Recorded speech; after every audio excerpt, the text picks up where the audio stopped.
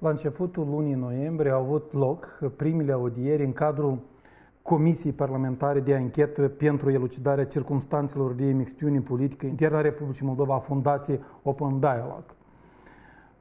După, aceast, după primele audieri la care au, au fost audiați reprezentanți ai statului și aici ne, ne referim la Ministerul Afacerilor Interne, Serviciul Prevenirii și Combaterii Spălării Banilor, Serviciul de Informație și Securitate, Comisia Electorale Centrale, dar și trebuia așa Procuraturii Generale, însă uh, reprezentanții Procuraturii Generale au spus că ei nu pot fi prezenți la astfel de audieri.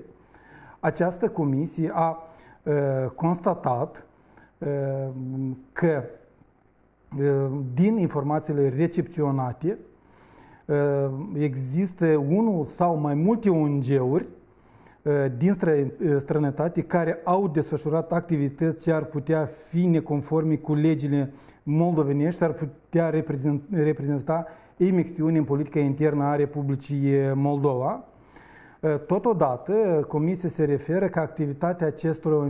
ONG-uri conțin elemente care se referă la finanțări ilegale ale unor organizații politice și ale unor politicieni.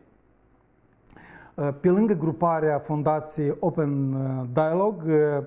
uh, informația relevă și posibilă implicare a unor companii în acest caz. Mai departe, din comunicatul acestei comisii parlamentare se spune că vor avea loc și alte audieri, în urma cărora vor fi invitați și alți reprezentanți, în urma cărora vor fi colectate noi informații. Totodată, comisia spune că scopul ei este de a aduna informații și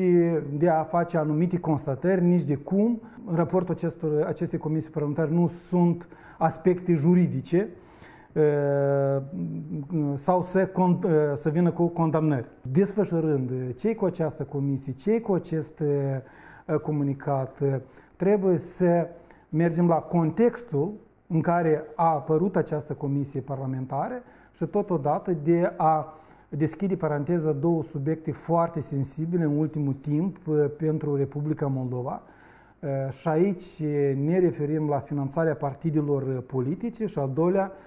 modul de activare a ONG-urilor în Republica Moldova și relația lor cu autoritățile statului. Dacă să vorbim despre contextul apariției acestei comisii, ne aducem aminte că în luna august, cu puțin timp înainte de protestul opoziției extraparlamentare, dar și a unor uh, grupuri a societății uh, civile uh, sau așa numita mișcare de rezistență. Acum, în spațiul public, a apărut o informație despre faptul că în Uniunea Europeană a devenit persoană non grata o cetățeană poloneză, Ludmila Kozlovska, și, de fapt, această persoană ar conduce un ONG,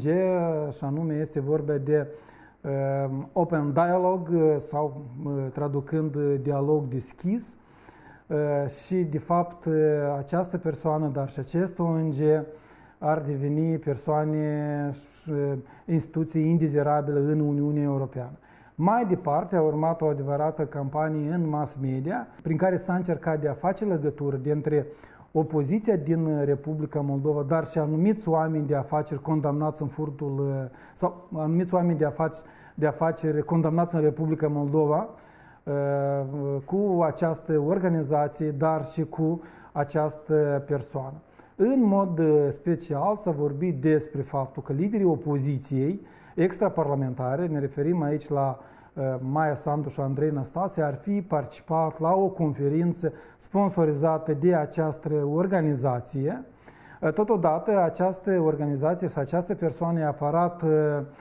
drepturile legate de extradarea în Republica Moldova din Ucraina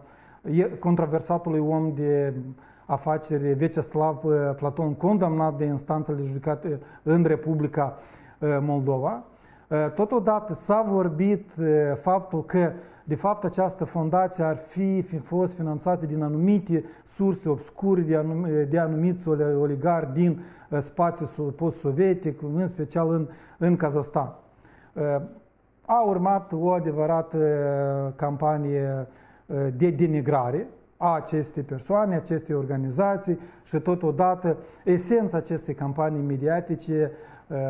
a fost că, de fapt, opoziția din Republica Moldova este finanțată din bani obscuri, Totodată, în spatele protestelor din 20, protestul din 26 august, organizată de către opoziție extraparlamentare, ar fi stat serviciile secrete, secrete rusești. Desigur, nu s-a intrat în detalii ce și cum, ce este, care este legătura dintre uh, partidele extra, de opoziție extraparlamentare din Republica Moldova, de anumiți reprezentanți societății civile, că de fapt uh, legătura lor cu această fundație Open uh, Dialogue, Dialogue de fapt se referă la un eveniment organizat de către Parlamentul European și de fapt la care acest ONG ar fi fost uh, organizator. De fapt, această legătură s-ar, reduce la biletele de avion cumpărate pentru Maia Sandu și Andrei Năstasă, dar și pentru unii activiști ai societății uh, civile. Sigur că s-a urmărit uh, prin această campanie de a schimba total accentele în, în ce privește activitatea acestei organizații și de fapt nu s-a dorit a face lumină în acest caz și, că, și a face lumină într-adevăr în ce a constat legătura dintre uh, această fundație, dialog deschis cu anumite partide extraparlamentare din Republica Moldova, dar și cu anumite elemente ale societății civile. Ba mai mult, în urma acestei campanii în mass media, a fost creată această Uh, comisie parlamentară uh, care urmează să uh, facă anumite audieri, să vină cu anumite constatări ce ține de imixtiunea anumitor elemente străine în și anumitor organizații de peste hotare în viața politică internă a Republicii Moldova. La propunerea partidelor din opoziție că activitatea acestei comisii să fie legată de uh, problema finanțării partidelor politice din Republica Moldova, s-a refuzat, uh, s-a primit refuzul din partea autorilor acestei inițiative sau, mai pe scurt, din partea uh, guvernării. Vorbind despre sau abordând subiectul finanțării partidelor politice, Uh, trebuie de spus că acest subiect nici pe departe nu a fost uh, rezolvat. Uh, despre finanțarea partidelor politice în Republica Moldova din anumite surse obscure, din anumite surse netransparente, se vorbește de, de mult. Până acum 10 ani, în general, practic, nu erau niciun fel de restricții nici la nivel cantitativ, nici la nivel calitativ privind cine Uh, finanțează partidele politice din Republica Moldova. La prima etapă, prin legea din 2008, s-a încercat de a impune anumite restricții uh, calitative, adică de unde sunt proveniența sau cine finanțează, ca ulterior s-a încercat de a pune anumite plafoane pentru uh, sursele private sau pentru donațiile care se fac partidelor politice din anul 2015 uh, pentru partidele politice s-a introdus uh, finanțarea de la uh, bugetul de stat. Deși se credea că odată cu finanțarea partidelor politice din cadrul bugetului de stat vor fi soluționate o serie de probleme, s-a constatat că pe nici, de, pe nici de parte aceste probleme nu au fost soluționate în totalitate, ba din potrivă, o serie de probleme au, au rămas persiste în continuare. Mai multe rapoarte și studii realizate de către societatea civilă arată că în continuare există atât probleme la plafoanele, atât la sursele finanțării partidelor politice, ba din potrivă, faptul că partidele politice au uh, primit finanțarea de la, de la stat uh, cumva au avantajat uh, partidele mari. Recent, un studiu realizat de către Promolex privind rapoartele financiare a partidelor politice din semestrul întâi anului 2018 a constatat mai multe probleme, și anume Ă, aceste probleme în ă, constatarea raportului realizat de Promolex ar fi următoarele, că Comisia Electorală Centrală tratează selectiv partidele politice, unele partide fiind avantajate, în mod special este vorba de, de către Partidul Democrat, Partidul Socialiștilor sau Partidul Șor. Alte, alte constatare ar fi că nu toate cheltuielile estimate sunt raportate, în mod special nu sunt estimate nici de cum activitatea fondațiilor care organizează, care funcționează pe lângă anumite partide politice și aici desigur ne referim la Partidul Democrat, Partidul Socialiștilor și la Partidul Șorcă. Activitatea acestor fondații și organizații de caritate sunt o modalitate indirectă de a promova anumite acțiuni cu caracter politic, dar care pe nici departe nu sunt incluse în cheltuielile raporturilor politice, că de fapt donațiile private făcute de către partide politice în anumite situații sunt simulate și nu sunt raportate adevăratele, adevărații donatori. Mai sunt și o serie de, de alte probleme, ba din potrivă, raportorii estimează că odată cu trecerea la sistemul electoral mixt, o serie de probleme care există acum, ele vor persista într-o formă și mai profundă în, în campania electorală. Dar, pe lângă subiectul finanțării partidelor politice, există un, un alt subiect, cel legat de ONG-uri. Nu în zadar în comunicatul, după primele audiere ale Comisiei Parlamentare, se vorbește de ONG sau chiar mai multe ONG-uri care uh, s-ar implica în viața politică internă a Republicii Moldova.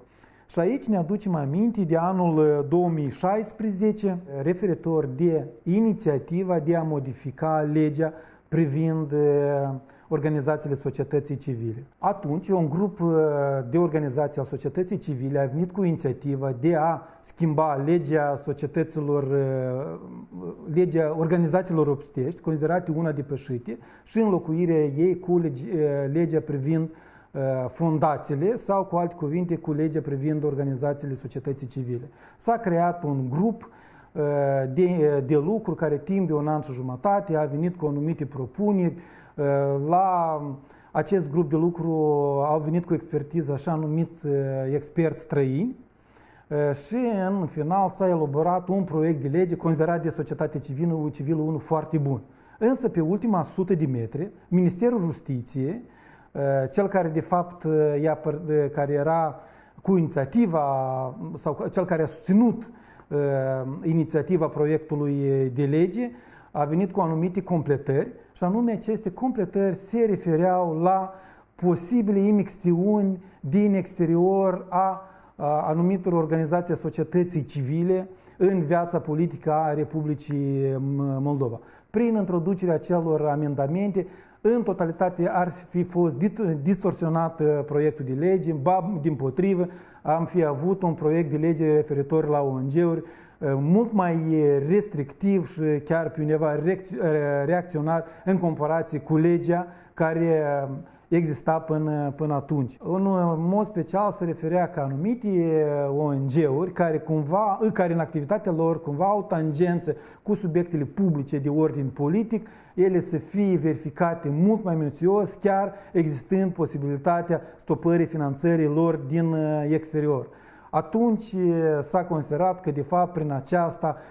guvernarea încearcă să restricționeze foarte serios activitatea anumitor organizații ale societății civile care critică guvernarea sau care nu sunt pe placul guvernării. În cele din urmă, Ministerul Justiției a dat înapoi, acel, acele amendamente au fost scoase, altceva este că până la urmă și soarta acestui proiect cumva a rămas în aer, însă ceea ce, făcând conexiune cu această comisie parlamentară, cu cazul Open Dialogue, vedem că există anumite similitudini în ceea ce s-a dorit a introduce prin acele amendamente la legea privind fundațiile societății civile, cu anumite constatări făcute preliminar de către Comisia Parlamentară privind studierea acestui caz. Deci, în concluzie, putem constata că Comisia parlamentară se referă anume la subiectul finanțării ONG-urilor și finanțării lor din exterior. Doi, că se încearcă de a stabili legătura dintre anumite ONG-uri și anumite partide de opoziție extraparlamentare care se vor implica în, activ în alegerile parlamentare și care au anumite șanse reale. Și trei, dacă atunci nu s-a încercat de a restricționa prin acel amendament la lege, acum prin anumite constatări cu care va veni Comisia parlamentară pot, fi, pot servi drept teren de acțiuni pentru anumite instituții stat, ale statului uh, pentru a restricționa activitatea în campanie electorală a anumitor uh, subiecti politic, politici, a unor partide politice, până la uh, anumite pedici în a-și desfășura campania electorală sau chiar până la a fi scoși din campania electorală.